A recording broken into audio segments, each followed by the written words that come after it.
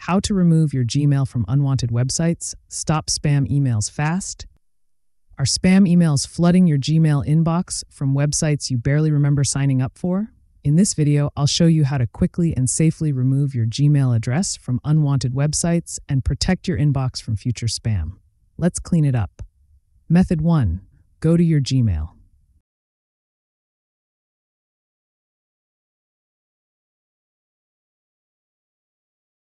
When you move your cursor over the mail sent by the website, you will see the word unsubscribe. Click on it. A dialog box will come up. Click unsubscribe. Or open the mail sent by the website. At the top here, you will see unsubscribe. Click on it and select unsubscribe from the dialog box, and you are done. Method 2 Go to google.com, click your avatar at the top right hand side. Select Manage your Google account. Click on Security.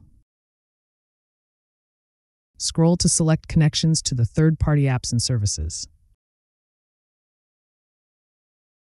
All will appear here. Click the ones you don't want. Click Delete all connections. Confirm on the opened up dialog box. Keep doing it to delete all websites you don't want.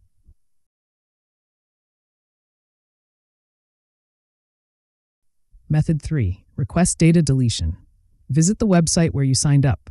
Go to their privacy policy or contact page. Use phrases like, I request that you delete my personal data and remove my Gmail address from your records as per CCPA.